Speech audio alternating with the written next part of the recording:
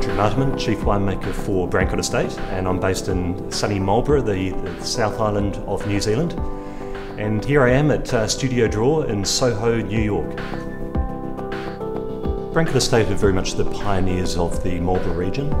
We planted the first vineyards there in 1973, and then in 1975 actually planted the first Sauvignon Blanc in Marlborough, and arguably that's what transformed the New Zealand wine industry. I'm Dror Benshetrit, founder of Dror, an idea-driven design studio. We are a holistic design practice that works across the board of architecture, design and art installation. I met Dror last year, he came to Marlborough and that trip to Marlborough inspired amazing installation which is part of this collaboration we have. I think it was very obvious for me when we were there that I want to do something that respond to the landscape.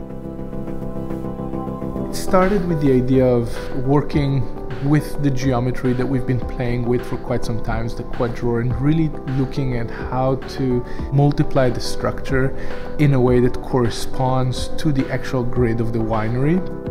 I took an instant love for what he actually proposed.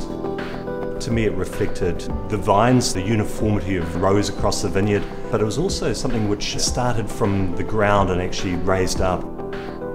To me, it showed that transformation of the vines on the landscape, but also of the way we make wine. The installation is going to be called Understanding, which is actually inspired by Buckminster Fuller statement about how you should stand underneath your work to understand it better and to perceive it in a different way. I see a real link between what we do as winemakers and design as well, and I think both of them incorporate art and science. From a winemaking point of view, it's about understanding the land and actually converting essentially a raw ingredient into something which is beautiful and actually thought provoking as well. And I see the same with design. It's about creating something which intrigues people.